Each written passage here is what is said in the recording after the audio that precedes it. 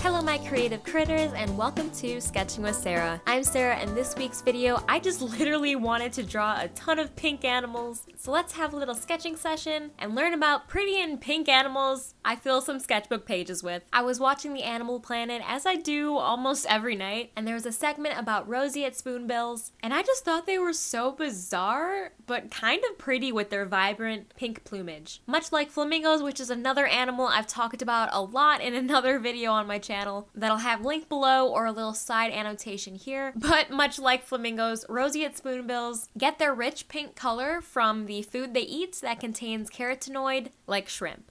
These birds are close relatives to flamingos, but flamingos are much larger with longer necks. The bird I drew on the left is a more juvenile spoonbill and has less vibrant pinks, and the one on the right is a more mature bird with much more rich pinks and yellow on the face and in the feathers. Something kind of cute I learned is that during mating season, the male will often gift nesting material to the females to impress them, and once bonded, they are monogamous and take turns in caring for any offspring they create. The next pink animal I wanted to talk about is the Amazon River dolphin or apparently commonly known as Boto dolphins, but I've always just known them as those pink dolphins. These dolphins are the largest of freshwater dolphins, and their pink color can actually vary depending on their age. When it is young, the Amazon River dolphin is a dark gray on the upper portion of its body, and as it matures, the gray is replaced by pink on the ventral and lower portion of the body, which spreads up the sides to the back. The color becomes lighter as the dolphin matures and ends up almost white, with bits of bluish gray. Something unique unique about these dolphins is that instead of having a dorsal fin like other dolphins, they have a ridge on its back, which rises to a modified hump shape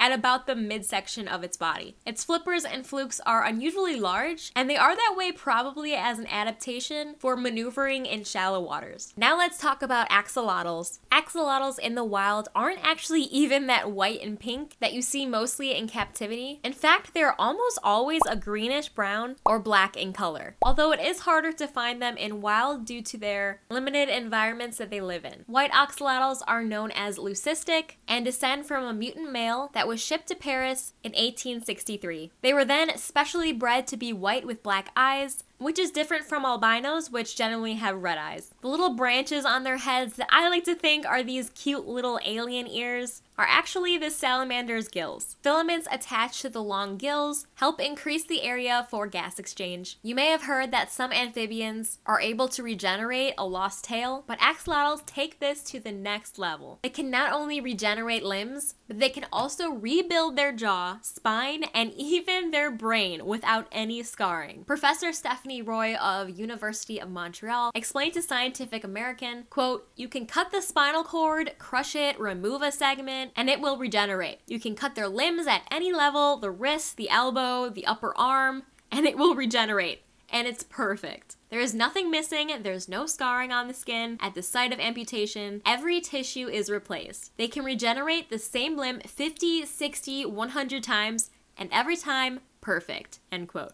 And that is just truly amazing to me. The last animal I wanted to talk about is the Major Mitchell's cockatoo, and this one was kind of a last minute addition to the sketching session. After seeing this really vibrant photo come across my Pinterest, after searching for all these pink animals, I just really enjoy how rich and vibrant that yellow and red feathers pop out when the bird fans out its crest like that. It's always amazing to me when I'm watching anything about birds of paradise, for example, and they look meh. And then they open their feathers or their wings in some way, and it's just a beautiful spectacle full of color. Most of the flashy colors and displays help them attract mates, and I'm sure it's impressive to their own species as well. I'll have a link to some information about these cockatoos in my description, along with all the sources I use for the other animals I talked about in this video. After drawing the cockatoo, I kind of lost steam and didn't really finish the body even, but honestly, I'm just happy I got to draw its head, which is the part I really wanted to study. I use my sketchbook as a way of exploring and putting these cool animals I learn about down on paper, and I feel like when I get inspired and excited about something, I just have to draw it. I've been doing that for as long as I can remember, and I specifically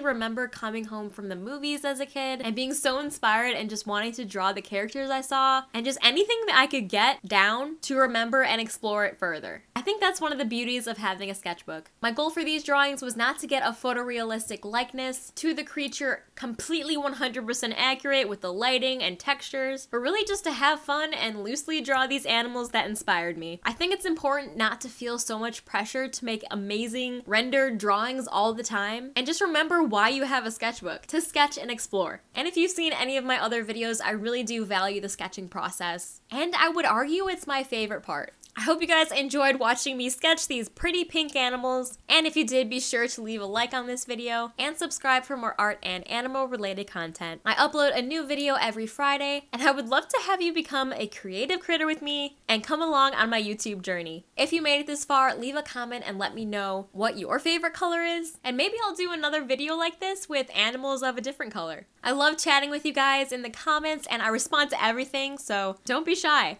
As always, I have links to all of my social media, including my website and Patreon that also has a lot of fun benefits like drawing animals for you guys, and my Pinterest that has boards of a collection of reference photos and inspiration I use to create drawings in my sketchbook. I also have affiliate links to the supplies I use in this video. If you're curious about anything I used and want to know more, plus help support this channel, consider looking at and using any of my affiliate links. Thank you guys so much for watching, stay creative, and I'll see you in next Friday's video.